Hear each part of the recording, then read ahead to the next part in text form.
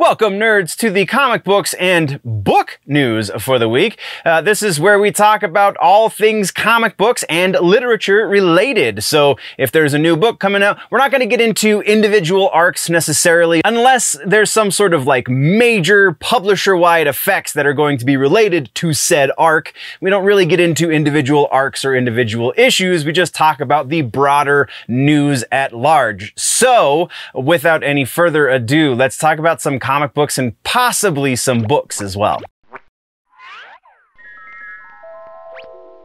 Now let's talk comic books and uh, maybe some books. No, I don't think we got any books this week, but we do have uh, Cliff Bleszinski is uh, in the comic book news here. Cliff Bleszinski, famous for Gears of War. We also have Children of the Vault is a new Marvel comic book announced, and Free Comic Book Day is bringing up some news. So uh, let's jump into all of the things. First up, we have a trailer for a new book. We have Avengers book number one.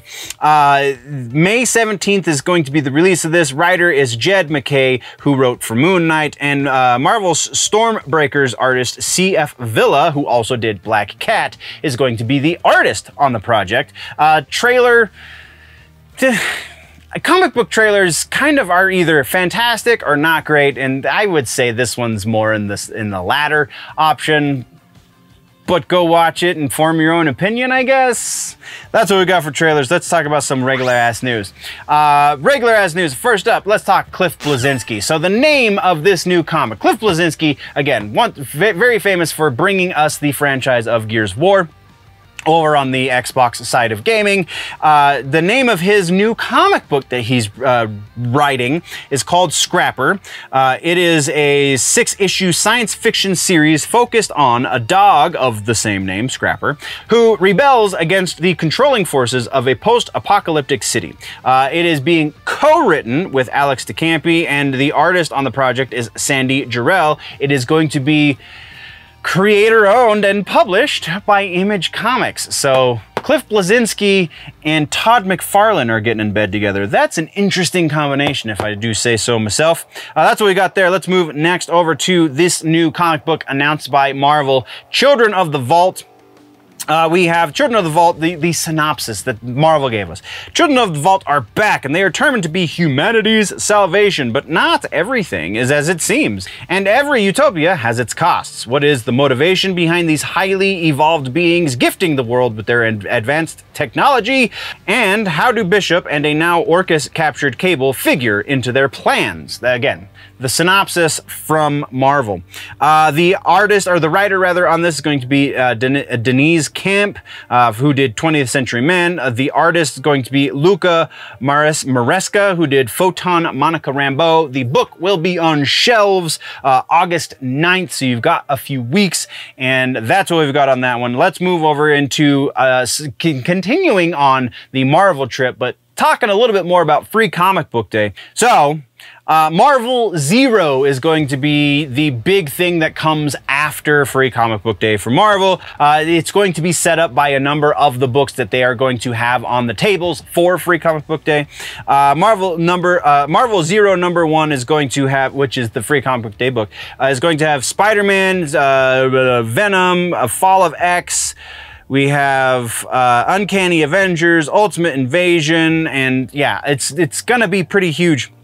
Uh, it's, I mean, it's, it's, it's, sounds like it is going to be a big setup. Again, it's hard for me to get really excited for modern comic book stuff. Modern Marvel and DC uh, specifically, just, uh, I just, uh, it's hard for me to get into them for reasons we've covered a number of times. So, and then, like I said, Free Comic Book Day is upon us, and uh, May 6th is the day for Free Comic Book Day. Go to your local comic book shop. They should be, that's no guarantee, but it should be, uh, your local comic book shop should be participating in Free Comic Book Day, which means you get free comics. Uh, it's kind of up to each individual shop if you can get all or just some of the free comics available. It's many, many, many comics comics come from uh, a bunch of different publishing houses Marvel, DC, uh, Image sometimes, and some other indie comic publishers, uh, so on and so forth. But yeah, there freecomicbookday.com i'm pretty sure is the website. Go check it out. You can get the full list of books to expect. So that way if your local shop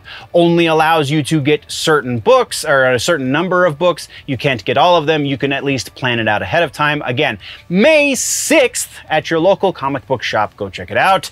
That is what we got for regular ass news which means we're going into Comic books and book suggestion. This is a, legitimate comic book suggestion this week. We're talking Batman Eternal, James Tiny Tynion the fourth, uh, one of my favorite Batman authors. Uh, Batman Eternal came out in 2014. It was, I'm very sure, uh, part of the New 52, though I can't remember explicitly. But that was kind of my first introduction to James Tynion. That's kind of why I really, really appreciate uh, the stuff that he's done for Batman uh, go go read it. I, I, it's a long book. It's super thick. There are a number of other writers involved with this. Scott Snyder, another one of my favorite Batman writers, uh, as well as Ray Fawkes, Kyle Higgins, and Tom, uh, Tim Seeley.